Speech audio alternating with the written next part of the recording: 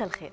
في قصة اليوم التي تخبرنا بها شجرة المعرفة سنتحدث عن واحدة من كنوز الحضارة الإنسانية مكتبة كلية ترينيتي في دبلن إيرلندا والتي تعد من أعرق وأضخم المكتبات في العالم والتي تضم بين جدرانها نوادر الكتب والمخطوطات ولعظماء العلماء والأدباء عبر التاريخ.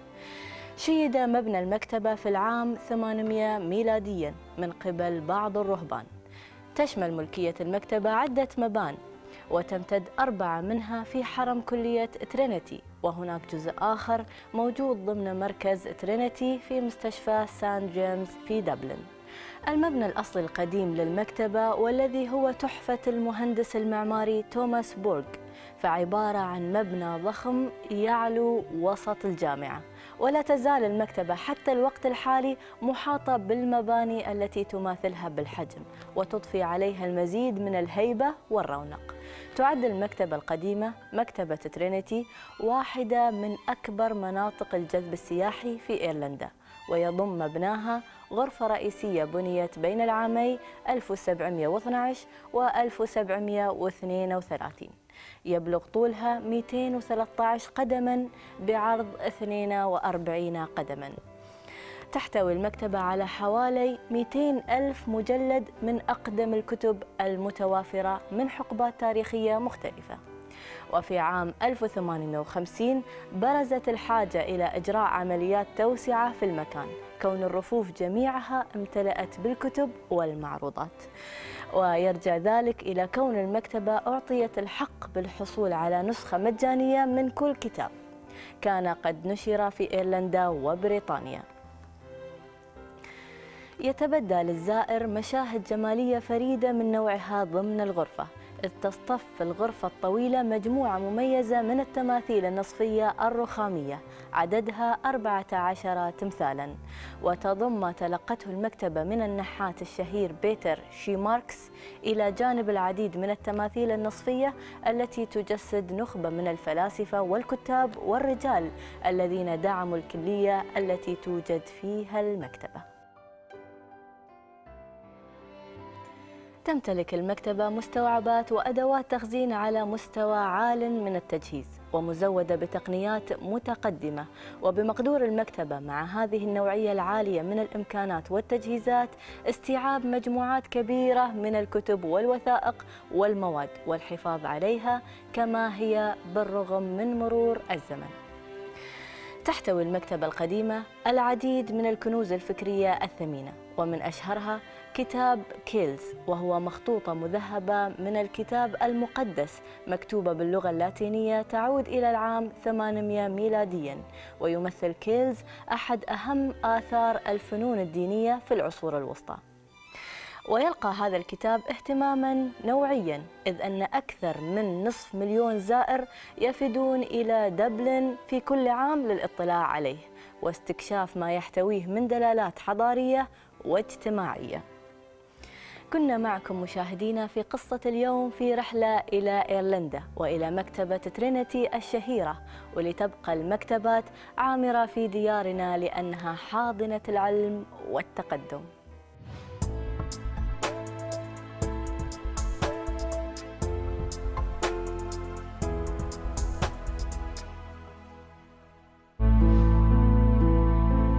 قرأت في مقال منذ أيام عن رجل كان يسافر عبر مطار فرانكفورت فرأى الفيلة تنقل من الهند إلى أمريكا عبر ذلك المطار من دون وثقها بحبل واحد. توضع الفيلة على الطائرة ثم توزع بين أقدامها الصيصان أي الكتاكيت فلا تعود تتحرك طوال ساعات خوفا من إيذاء المخلوقات الصغيرة. صاحب المقال راح يبحث عن هذا الكائن في الأعمال الأدبية لليوناردو دافنشي. وفي هذه الأعمال ينصرف الرسام دافنشي إلى دراسة الحيوان على غرار معلمنا الجاحظ الشهير بكتابه الحيوان. يقول دافنشي أن الفيل يمتلك ما يندر وجوده عند البشر ألا وهو الاستقامة والرشد واعتدال الطباع. أما الجاحظ فقال أن الفيل أسرع الحيوان الوحشي أنسا بالناس. يقول دافنشي أيضا إن رأى الفيل إنسانا وحيدا وتائها فإنه يرده بلطف إلى الدرب الذي ضل عنه. ولا تسير الفيلة إلا جماعات يتقدمها متقدم. وعندما تعبر الأنهار ترسل صغارها صوب المسيل المنخفض بينما تقف هي على الصعدة لتكسر تيار الماء المشتد فلا يكون قادرا على جرف الصغار بعيدا. إنه بطل كتابنا. الفيل التاريخ الطبيعي والثقافي لدان وايلي.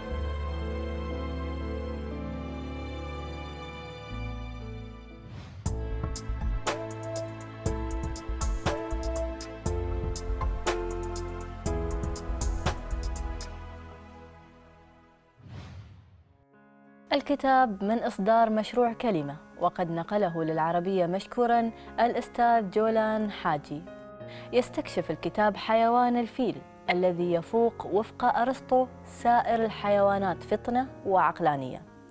ويتربع في قلب ديانات العديد من الثقافات حول العالم ويتناول وايلي القوة الرمزية من خلال الإله غانيش إله الحكمة عند الهندوس وأعمال الأطفال الخالدة كما يتناول تصوير الفيل في الفنون الجميلة والآداب. ثم يتطرق إلى ما يعانيه هذا الحيوان من مخاطر الصيد والترويض التي يتعرض لها في حدائق الحيوان وحلبات السيرك وهذا ما نتج عنه اليوم بقاء ثلاث فصائل فقط منها وهي فصيلتا فيل السافانا والغابة الأفريقيين وفصيلة الفيل الأسيوي. وقد ذهب الضحايا وبأعداد هائلة من هذه الكائنات على أيدي لصوص العاج إلى جانب تقلص مساحات الطبيعة التي تأويهم. في هذا الكتاب ستقرأ عن هذا الكائن تركيبته عقله وعينيه وحواسه. سترون كيف يشعر ويتفاعل وينقذ نفسه ويتواصل مع بني جنسه. وتعرفون كم هو كائن طيب وودود ولا يستحق ما يفعله به البشر من صيد وإيذاء وأسر لحاجات كمالية زائلة.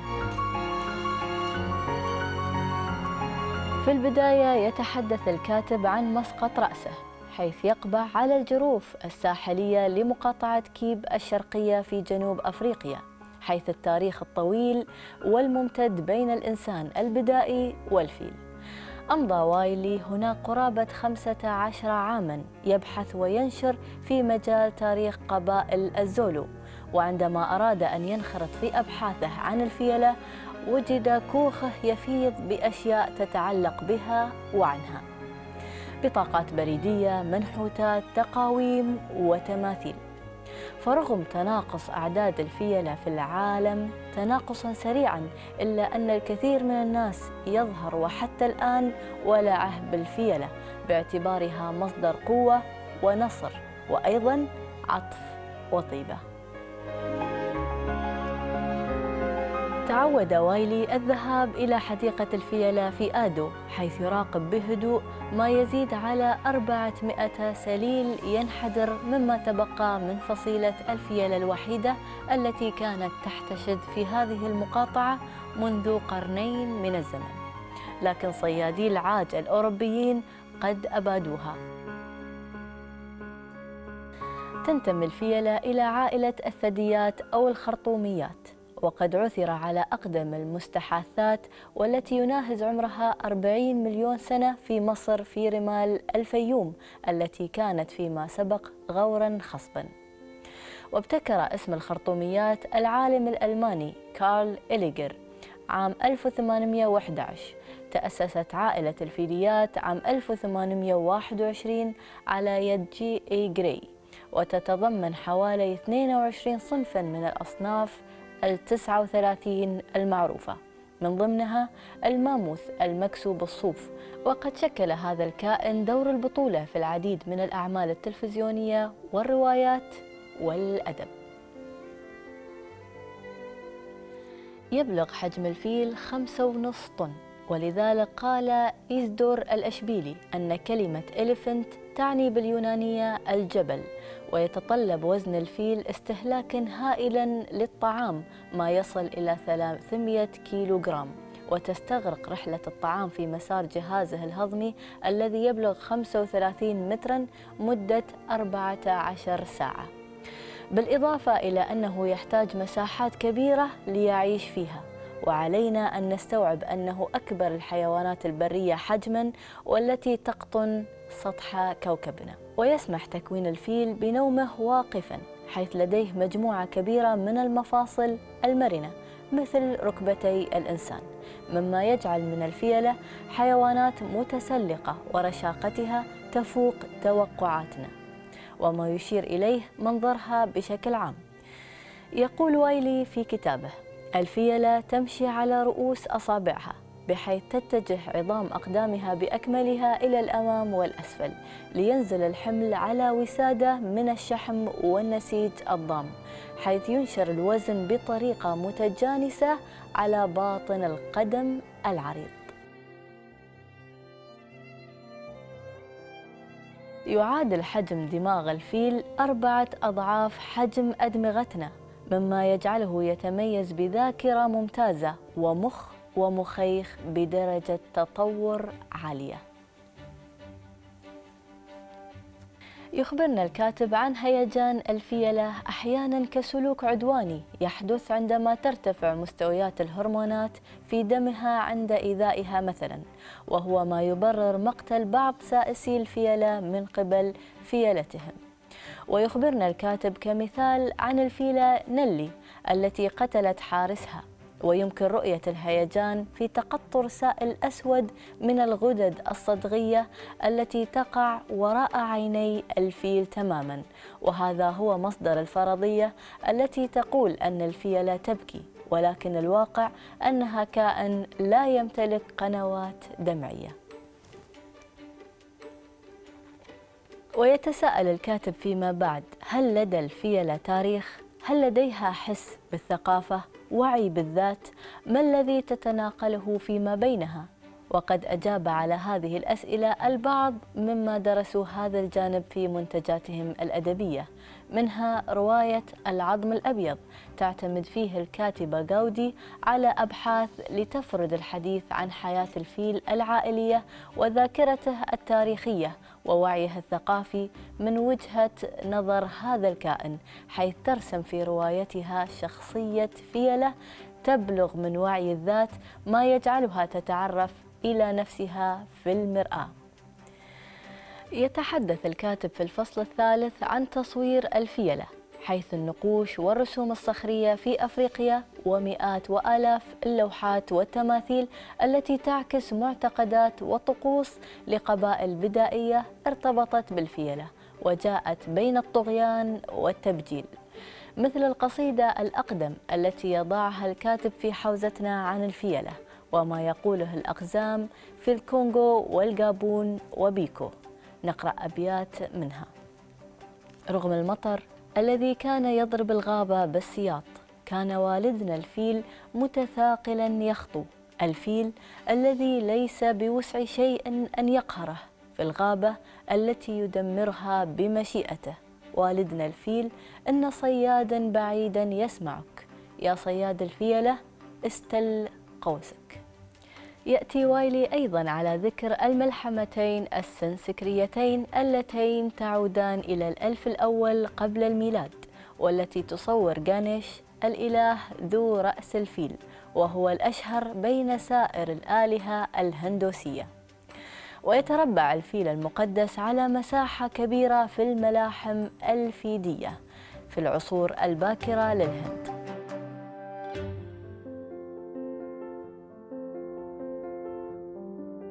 لا يغفل الكاتب عن روايات الأدب العالمي التي تتعلق بالفيل مثل التي كتبها رايدر هاغارد عام 1886 بعنوان مناجم الملك سليمان. وتدور أحداثها في أفريقيا وأسست هذه الرواية لمن كتبوا بعده في الأدب عن الفيل ومنهم أرنست هامغواي في قصته تلال مثل فيلة بيضاء. ثم أعقبه الكاتب قصص المغامرات جون جوردن في روايته الرائجة أطول من الأشجار. كذلك كان هناك العديد من الروايات التي جسدت وحشية الصيد ضد هذه المخلوقات فيما سمي بأدب الصيد.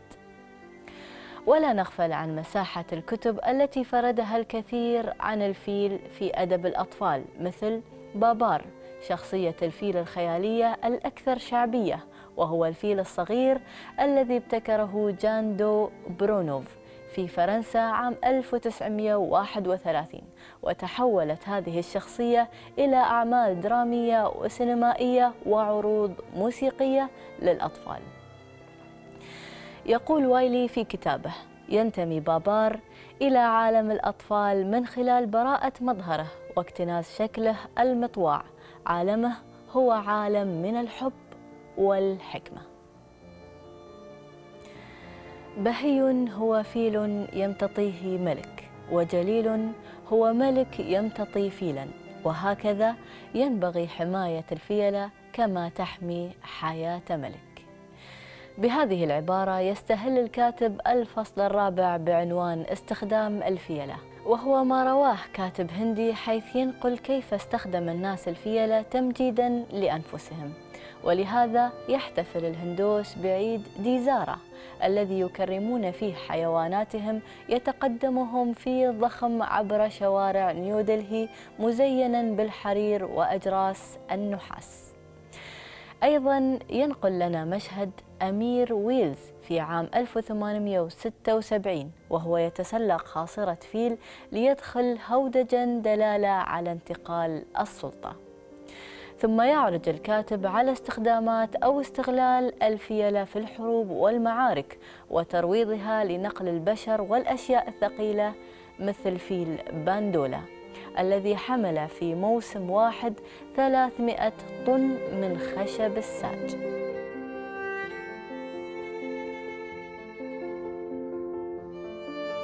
في فصله الأخير الحفاظ على الفيلة.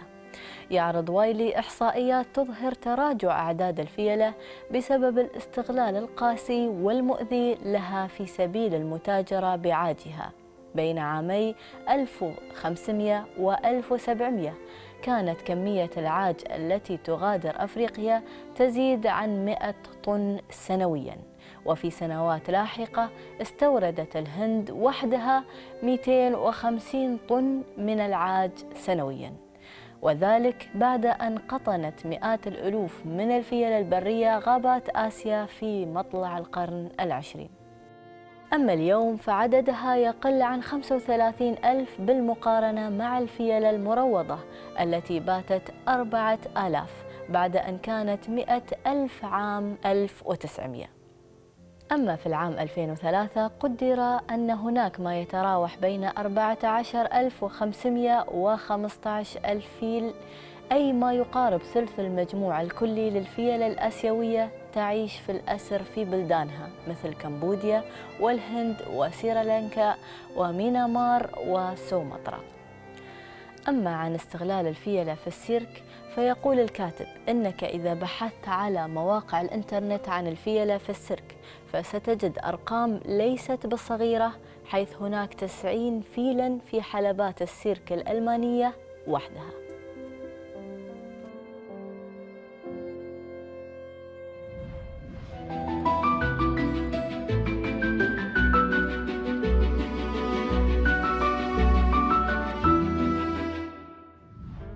في ريشة ودوال اليوم سنتحدث عن رواية الحب في المنفى للروائي بهاء طاهر.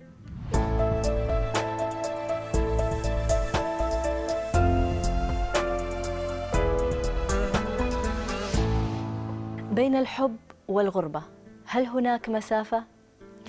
قد تتباعد المسافات جدا بين الاثنين ولكن تبقى تزيد حاجة كل منهما للآخر. فكلما زادت الغربة زادت حاجتنا للحب. وكلما أحبتنا الغربة بحثنا عن حب آخر يبتلعنا بعيدا عنها. رواية الحب في المنفى للروائي بهاء طاهر إحدى البصمات المميزة في مسيرته الأدبية وهي من ضمن قائمة أفضل مئة رواية عربية. ووصفها الناقد الدكتور شكري عياد بنموذج جديد للرواية الواقعية. يتحدث طاهر عن الغربة التي بدأت رحلتها بعد فصله من عمله في الإذاعة المصرية إذ اتجه إلى مدينة جنيف بسويسرا. فانكب طاهر على مشاعره وسكب كل مشاعر الغربة في هذه الرواية التي تسرد للقارئ مشاعر متناقضة ما بين الحب وغربته وما بين الغدر والخيانة ويؤطرها بأحداث تاريخية عربية وعالمية ما بين بيروت وتشيلي في منتهى الجمالية والدقة. الصراع في رواية طاهر داخلي تتواجه شخوصه أمامنا بمهارة أدبية. يجعل نفوس أبطاله تتصارع أمامه ويقف طاهر معهم. يتحدث إليهم وعنهم ويجيب عن تساؤلات نطرحها نحن أثناء قراءتنا قصصهم. رواية طاهر تنقل لنا إحساس الحنين إلى الوطن في سرد جميل ومتسق في أدب الاغتراب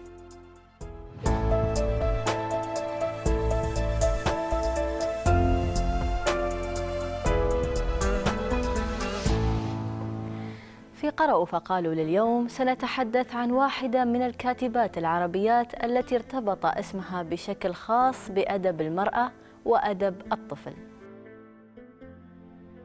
الأديبة الراحلة إيميلي داوود نصر الله وهي أديبة وناشطة نسوية ولدت ونشأت في لبنان.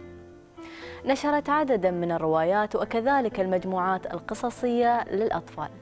تلقت إيميلي نصر الله تعليمها الجامعي في بيروت. عملت كروائية صحفية كاتبة مستقلة معلمة ومحاضرة وناشطة في حقوق المرأة. أول رواية لها نشرت عام 1962 طيور أيلول وحصلت على ثلاث جوائز أدبية. ترجمت العديد من رواياتها إلى الإنجليزية والفرنسية. نالت إيميلي نصر الله العديد من الجوائز عن أعمالها منها جائزة جبران خليل جبران من الرابطة العالمية لكتب الأطفال وجائزة مؤسسة التراث العربي في أستراليا عن رواية يوميات هر وجائزة أصدقاء الكتاب.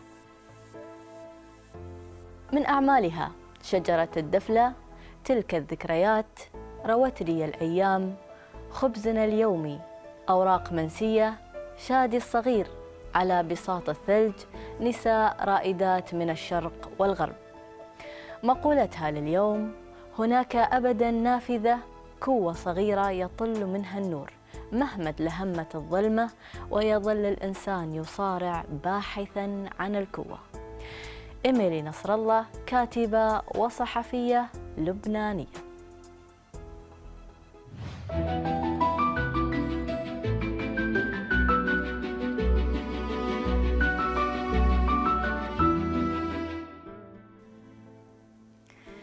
في ختام كتاب الفيل التاريخ الطبيعي والثقافي.